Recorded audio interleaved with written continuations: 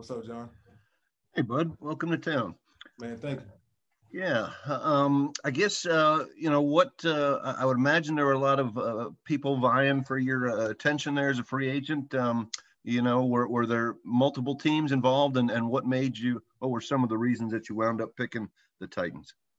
Yeah, man. Uh, multiple teams were involved, um, but you know, just when my agent called me with the Titans, man, just just all made sense. Uh, you know, from the team standpoint, really. You know, uh, I wanted to be on a winning team already and come in a program that that already has described and uh and be able to just help out as much as I can. So you know, it, all made sense just to be a part of this organization.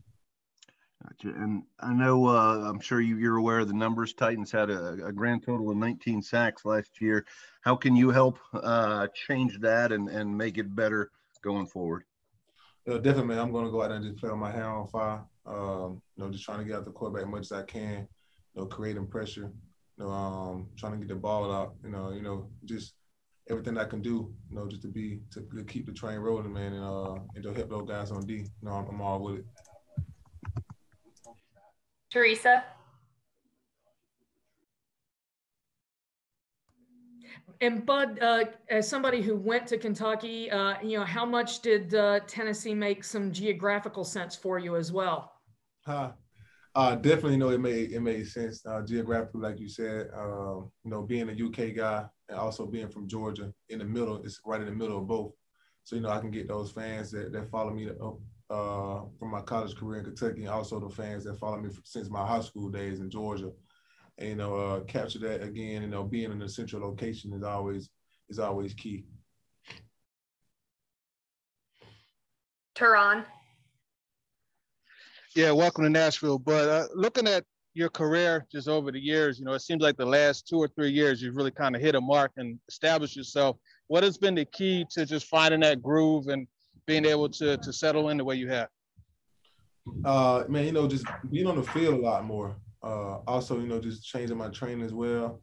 I know uh, my second year in the league, I missed like ten games. So you know, uh, also just being healthy, man, and uh, you know that played a, a tremendous role in it. And so now, uh, uh, since I hit that stride, man, I'm coming back stronger than ever, you know, and just and just continuing to develop my game, keep my arrow pointed upward, and uh, just make sense of everything like that. And when you look at a guy like Harold Landry and, and Derick Roberson, some of the other guys they have, how can you help them just like contribute and establish that that pass rushing culture that this organization needs? Yeah, definitely, man. Those guys already um are, are working together as a group. So I'm gonna come in and uh, you know, just you know, just uh, try to bring us a little bit closer. You know, uh, making sure guys, uh, you know, just learning from each other. The biggest that's the biggest part when you're on the team. You want to make sure you feed off each other. You feed out the energy from the other guys. You know, you're taking advice from the other guys on the team. You know, just making that, just make it, just making that uh, statement that way. Jim Wyatt. Hey, Bud. Uh, uh, Turron mentioned Harold, how much how much familiarity with do you have with other guys on this defense, and uh, how much you're looking forward to playing with guys like Jeffrey Simmons and Kevin Byard, maybe some other guys you're familiar with? Man, a lot of those guys are uh, established. Man, you know, Byard, he does what he does. He's one. The, he's, he's he's a great one. You know, uh, Simmons coming in, man. You know, uh, young guy, but is a tremendous player. Now, I was training him in the off season a couple times you know, it's a lot of other guys on the on team that just making plays and, and, always in the mix, man. Like uh, Brown as well.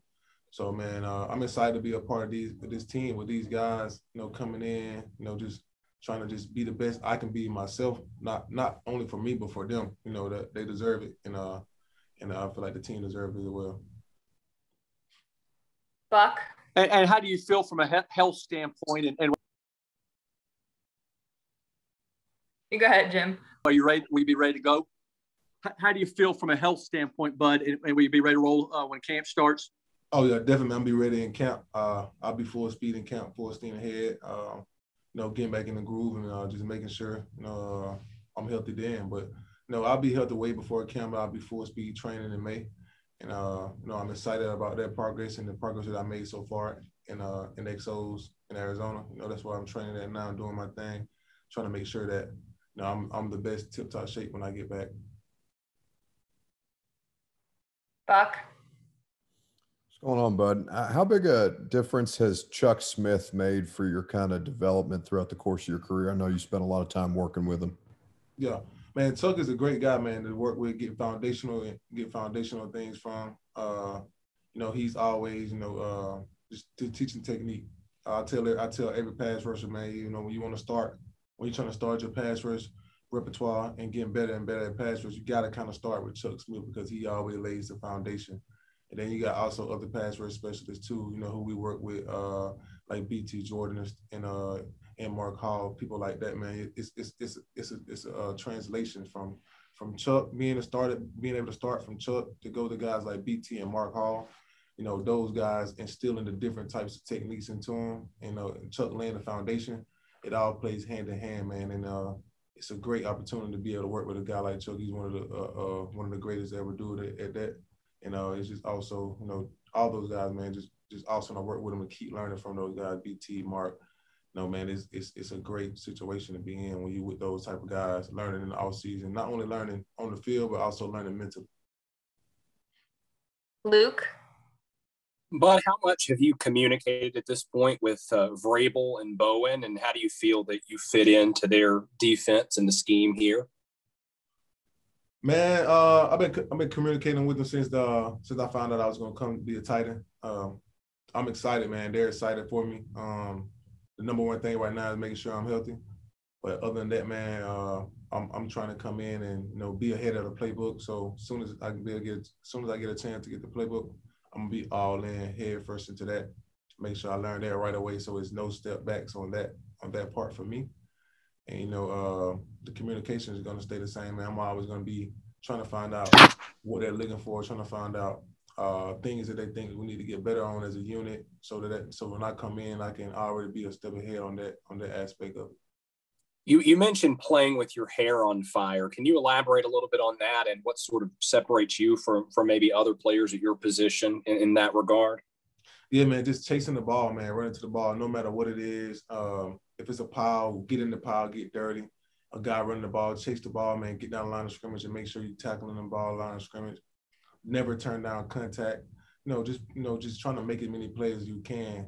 Not looking around for somebody else to make play, but you know, uh, putting upon yourself to be like, I'm going to make the play each and every time. So you always have that mindset in the back of your head, like uh, it's a big play need to make. I know I got to be the one to make the play. Not necessarily saying that uh, that's just a mindset that I have and I feel like everyone on the field should feel the same way. Like every every player should be like, all right, this moment is crunch time. I'm about to make the play.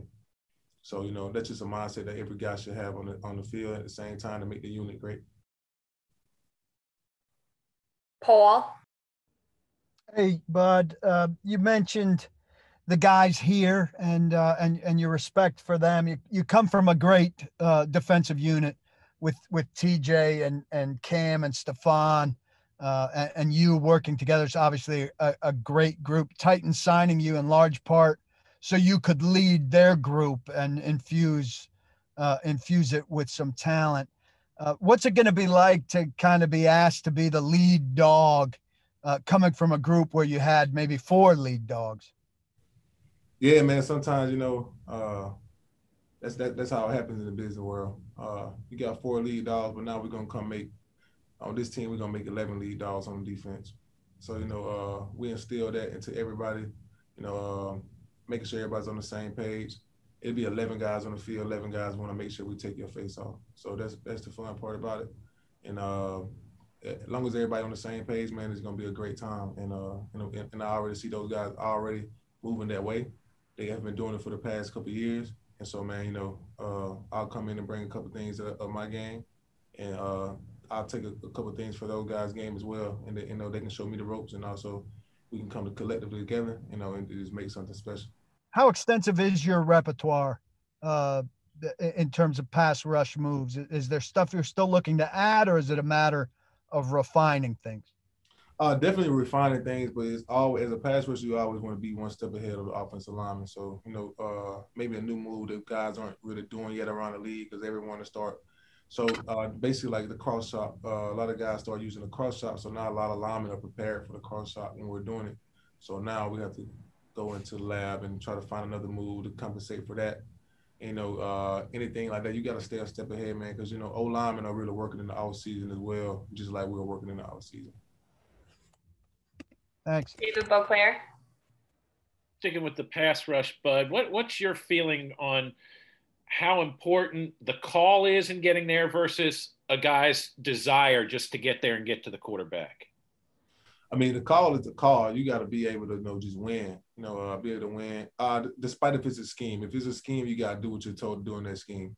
Always, never go against the grain. You know, you want to make sure, like, unless you just know it's a, unless you know it's 100 percent what you're thinking.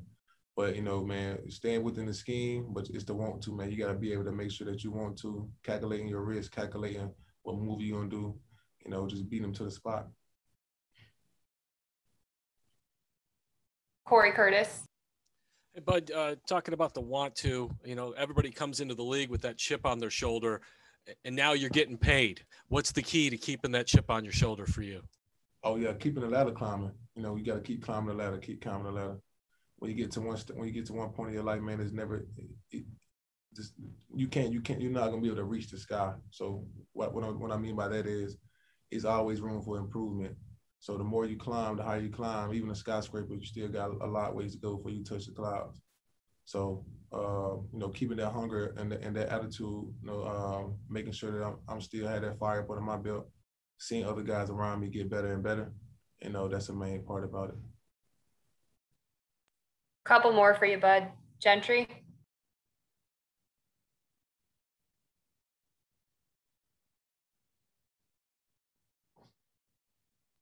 Okay, Glennon.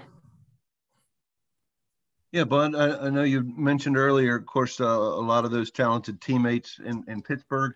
Um, you know, I guess there there are some analysts, and I'm certainly not saying I'm one that, that say some of your numbers were were boosted a little bit by having such good teammates and having such a, a blitz heavy scheme as well. Um, what do you say? I mean, I'm sure you've heard that kind of thing before. What what do you say uh, about that? Yeah, I mean, just turn the tape on. You see the one on ones. if I get a one on one, I win. Uh, with chips, I win. Uh, in the run game, no outside linebacker playing the run like me in the league. So, I mean, I don't know what people get that from. You just can't you you can't get mad because I got other great players on the team as well. It's just anywhere you go. You know, it's always going to be excuses why people do this and why people do that. But if you turn the tape on, you see me hit a running back three yards behind the line of scrimmage. How can you say that's because of someone else? Thank you. or if I win a Try Gentry again. Rush in one second, how can you say that's because of someone else? Yeah. Hey, bud, I know it's kind of uh, part of your story that you were, you know, maybe a little lightly regarded as a recruit coming out of high school. And that was, I wanted to ask how much motivation that was for you, you know, becoming the player you did at Kentucky and, you know, talking about cl- keep climbing the ladder. Did it really kind of start there with, with you trying to prove yourself in the SEC? Yeah, man. It started from it started from being young, man. Being from a small town, man. Uh, you know, being from a small town, uh, not really having a lot of exposure, uh, not a lot of money in the town, and not a lot of money in the city. You know, being overlooked our whole life. You know, uh, not really people really not thinking you're gonna amount to anything. So, you know, that kind of like started a chip on it right there. You know, uh, then also getting Kentucky, not getting offers until my senior year when I went to a camp, which I had to drive myself to, and my coach uh, transmission blew up actually in Tennessee. Coming to the University of Tennessee, his transmission went out so that was like my first camp ever coming to. And uh, you know, started getting attention then. And uh, you know, ever since then, man, you know, just want to make sure that you you're one of the ones that people talk about. So, you know, like I said, it's never enough room for improvement. So each and every year I'm trying to see growth in my game until like I until like I feel it's like it's time to give it up. Turron. Yeah, but a few years ago, you made the proclamation you wanted to get a sack for each of your pit bulls. Uh, I want to ask you how that kennel was coming along. Is that something you still have going? And what is it that attracts you so much to, to that dog? Man, I love dogs, man. I've been loving dogs since I was uh since I was young, man. Uh, you know, um, the bully breed, man, uh, is, is a special breed. You know, none of them come out looking the exact same and a lot of people use them as companion dogs now. So no, I have I have like 13 dogs right now. So you know, it's always fun just to go home, let all of them out at the same time. They hit, let them run in the water, let them run around the yard. Uh, just something I got, just a love I got for them. And uh, you know, it's, it's always fun, man. I've been having dogs. It, I don't feel right unless I got a dog. It's just part of my life. Last question. And, oh, go ahead, John. I was just going to say, just for fun, a proclamation. You're going to have a sack for each each pit this year.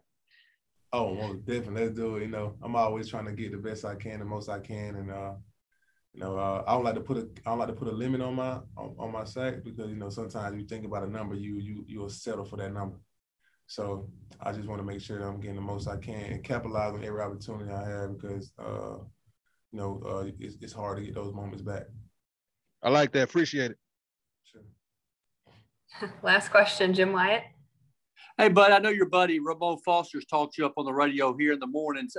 You probably consulted with a lot of people. Did you talk to him at all through this process, and what did he tell you? Yeah, it's crazy because uh, as soon as uh, we found out they weren't gonna franchise me again, Ramon came back and said, uh, "Man, you might well come to Tennessee." And we had a conversation like, "Man, I wanted to go to Tennessee last year if I was if I would have been a free agent."